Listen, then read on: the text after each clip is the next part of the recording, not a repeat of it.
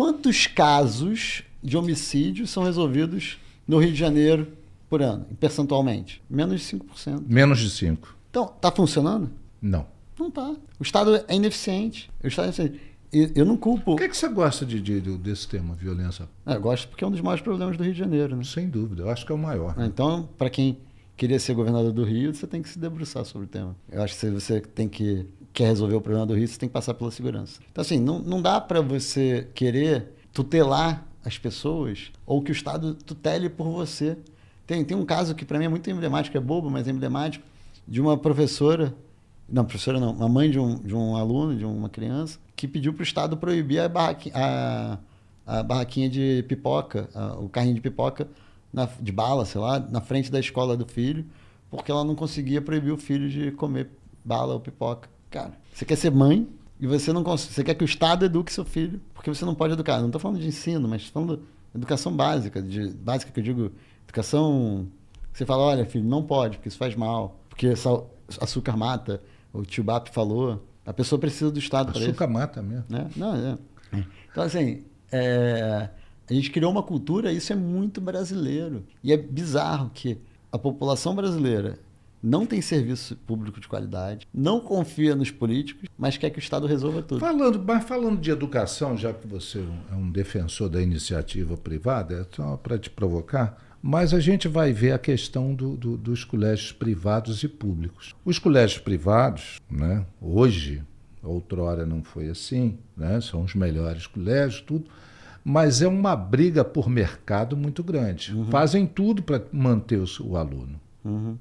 Não é isso? Coisa que quando o Estado né, está ali gerindo, essa coisa já não se dá. Mas qual o problema da briga pelo aluno? A permissividade. Mas qual a permissividade? A permissividade. Se você reclamar da professora, normalmente o pai. Eu estou falando em tese isso, o pai tem razão, porque aquele filho, aquele fi- pode sair dali para um outro colégio. Mas aí você vai na, na pública, no meio da favela. Ah, não era para ter mas é- favela, né? Não, não era para ter. E também não era para ter um colégio que dá razão para É.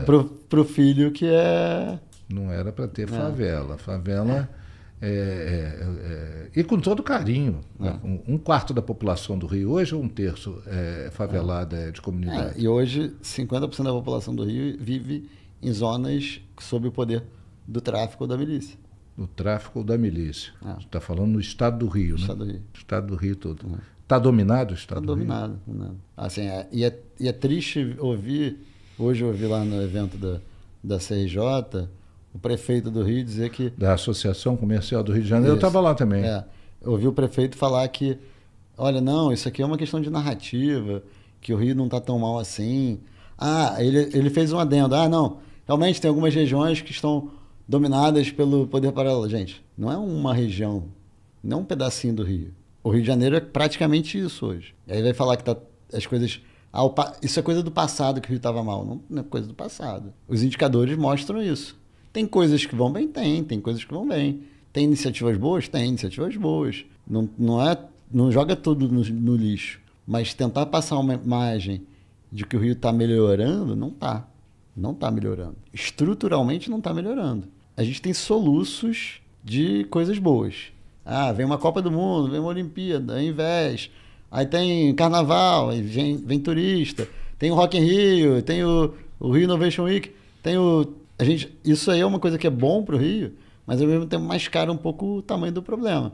Agora, se você olhar curva de longo prazo do Rio, cara, tá uma catástrofe. Tá uma catástrofe. Se você compara, você tem estados do norte e do nordeste que historicamente sempre foram mais pobres que o Rio, né, por seus problemas históricos, estão passando o Rio em vários indicadores. Vários indicadores. A, Qual a solução para o Rio, Garim? a população participar.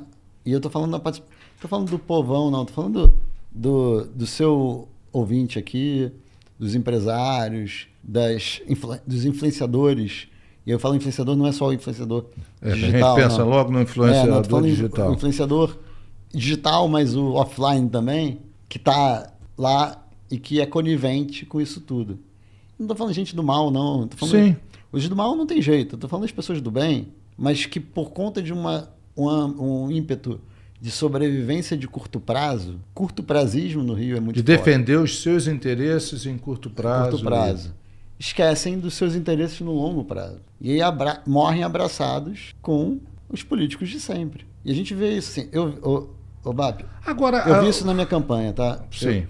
Eu, eu ia em eventos em vários setores, em que eu saía do evento, todo mundo falando, cara, você é muito bom.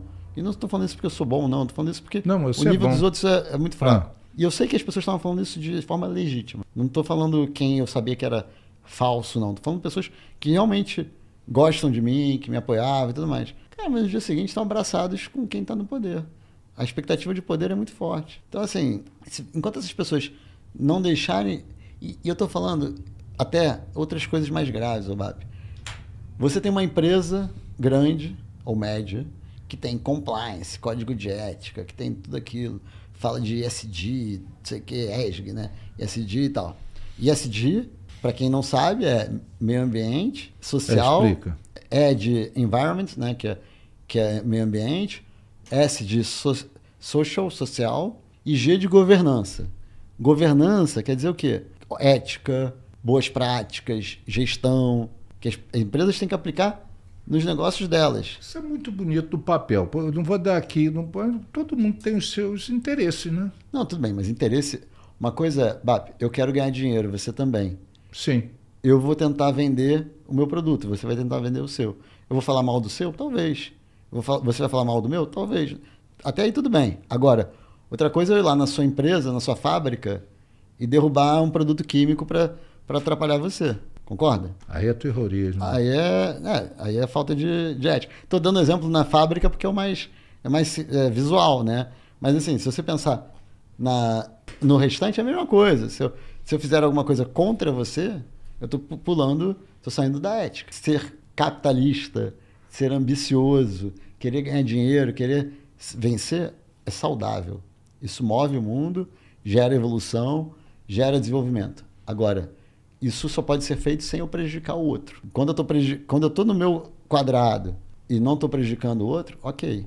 Quando eu estou sacaneando o outro, aí tá errado, entendeu? Eu não posso. Eu, como candi- ex-candidato, tem, tem limites éticos em que você pode fazer.